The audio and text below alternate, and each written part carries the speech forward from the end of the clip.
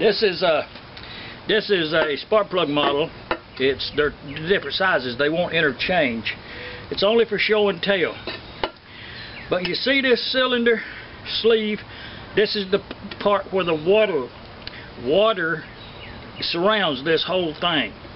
And see how deep this pitting is?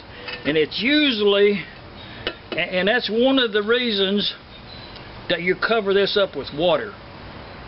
You'll look down in a lot of engine owners' water hoppers, and the water is only this level right here. You'll be able to see the top of their cylinder down in there.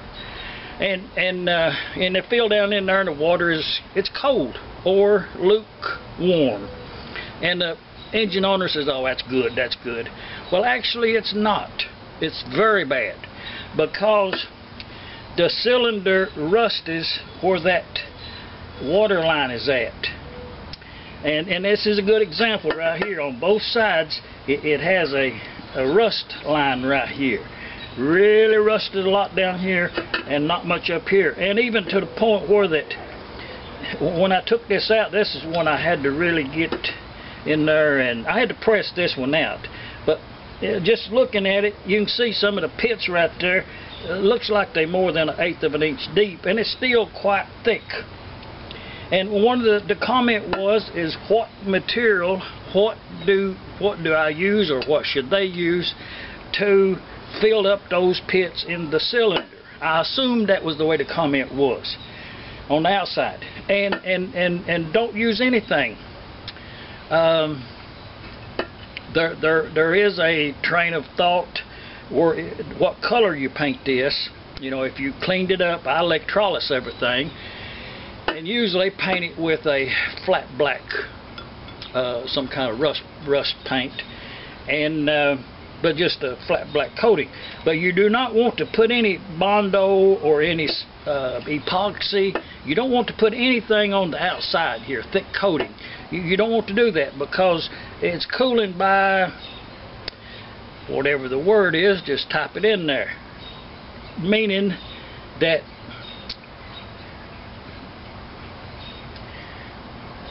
the water, the heat transfers from this cast iron out into the water and then out into the housing and, and cools it. And if you apply, apply something on here to slick this up, then it can't cool itself. So much for that. This is the one that we took out of this one. And so far, just looking at it on the outside, it it is absolutely pristine condition. As far as I can see, there is no rust pitting at all on it. Now, now there's there's there's a flash rust on it here, but as far as pitting, I think this is going to clean up really, really, really good. And uh, the, but the important part, the important part is the cylinder bore. And that looks really, really slick, but it's it's according to what size it is. And then another important thing area is where the O-ring rides on this right here. Is is they a war rusted? Is they a rusted line where the O-ring was at? Um, it can be a problem if it's deep.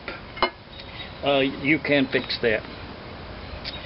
The what was a train of thought I was going with there?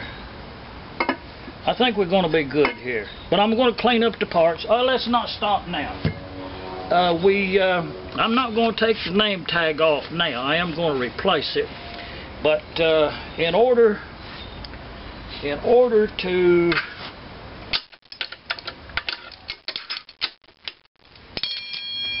to actually know what we got is at this point get that get that gas tank off of there.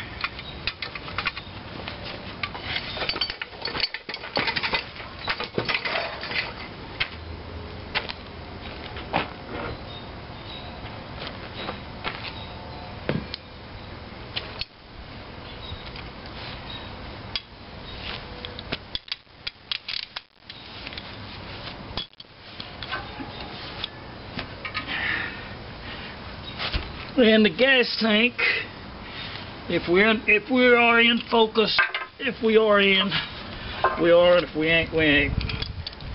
But, uh, oh, that's a bad bolt. That was loose.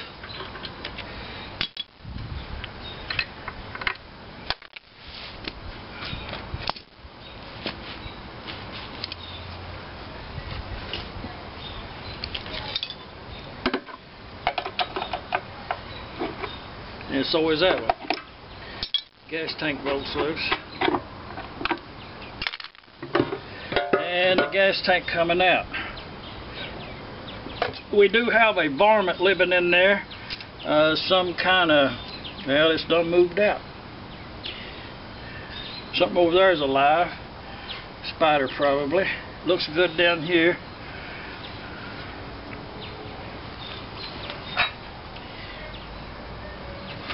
But the gas tank on the igniter on the igniter top that does not have the vent in the side of the block will have this kind of fitting that uh,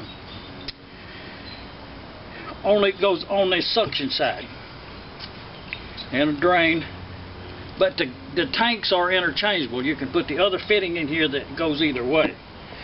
Um, it's not good I, I probably will not put this gas tank back on there. Right here's where the leak was at. You can see the paint bubbling right there. Uh, very, very little leak evidently, but it's got a whole complete bottom put on here. Um, looks like it's soldered. You know, it's a repair, but it's not good. And the uh, engine block itself uh, the only only part left on here, it don't have the pins in it. They come off with the side covers. The only part left on this block is the name tag, the two rivets. So, you know, let's wash it up now and put it back together.